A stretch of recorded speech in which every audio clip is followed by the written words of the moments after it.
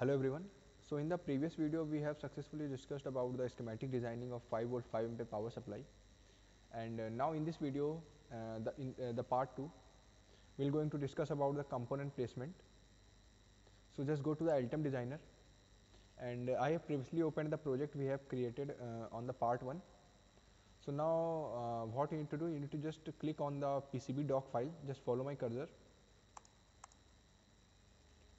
when you double click on PCB doc file it will open a uh, PCB board here. Just wait for a second. So for, for first time like it will uh, take some time for in the processing right? So here this is our PCB board the black part this is our PCB board. Now what we need to do we need to just import all the components we have created in the schematic SCH doc file. So we'll import all the component in the PCB doc file here right? So click on the design there is two option uh, the update is schematic in 5 volt 5 ampere PCB uh, uh, project PCB and import changes from 5 volt 5 volt right. So, uh, we need to firstly import the changes right. So, click on the import changes. So, they are all the components and their uh, nets and everything right. So, just what you do we need to just change here one thing just untick the room portion right. So, it will create a room in which all the components like placed. So, it will the room is basically a a page right? So we have created one page here. So it will create one one room here right? So we need to just uh, unselect the room and we will discuss in detail in later right? So there are three options. Just follow my cursor. The validate changes execute changes and report changes. So we need to just click on the first validate changes. So we have successfully checked all the like there are all the components and their uh, footprints are available right? Then we need to execute the changes so, we have successfully placed just uh, after execution just close this uh, window and uh, just click on the rise cursor and when you drag there all the components are here right. So, in this component placement part firstly we will going to just adjust the board size right. So, for board size we need to press 1 on the number pad press 1. So, after when you when you press 1 on the number pad we will going for the uh, like board stack uh, board layer stage right board, board layer stack sorry okay then we need what we need to do we need to just change the dimension of the board. So go to the design. There are lots of dimension redefine board shape edit board shape move board right? So we need to just click on the edit board shape. Yeah. so for this project we need a smaller board that's why right? So like if you want to like measure the dimension of the board then you can also measure from here right? The place dimension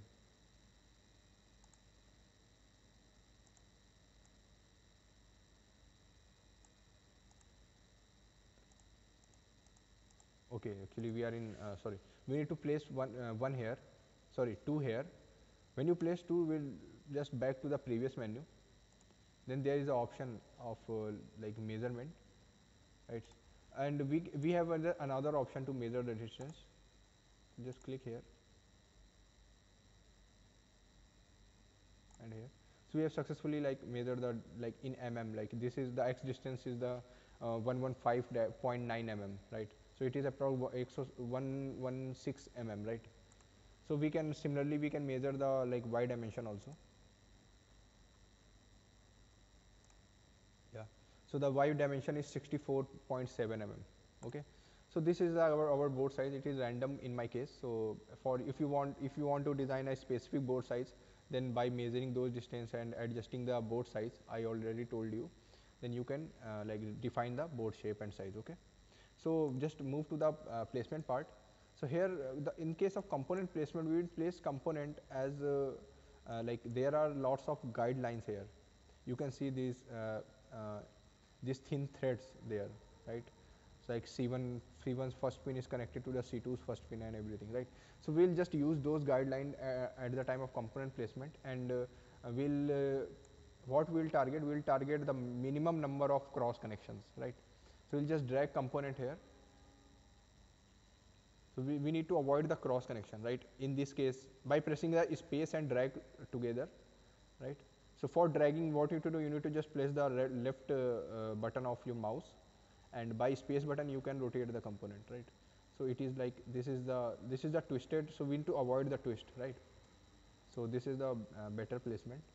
Now, just select the another component So we'll adjust the com uh, like component placement uh, when we'll go for uh, layout designing also, right? Here.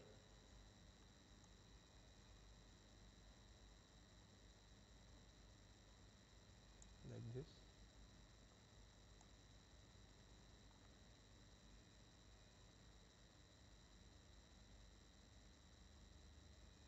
Like this.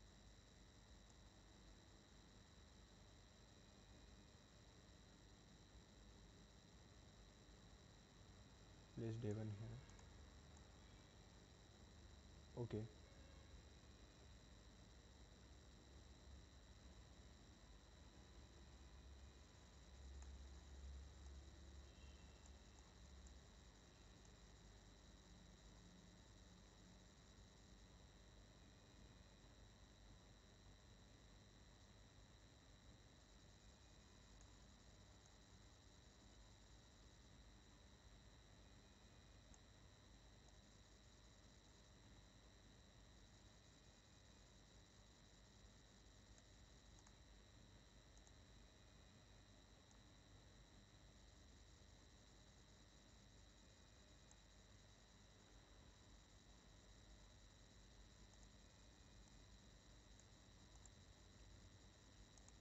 So uh, here I am trying to just move the D1 because it is uh, overlapping with the layer. So it will create uh, at error at the end, right? When we'll go for like compilation or something.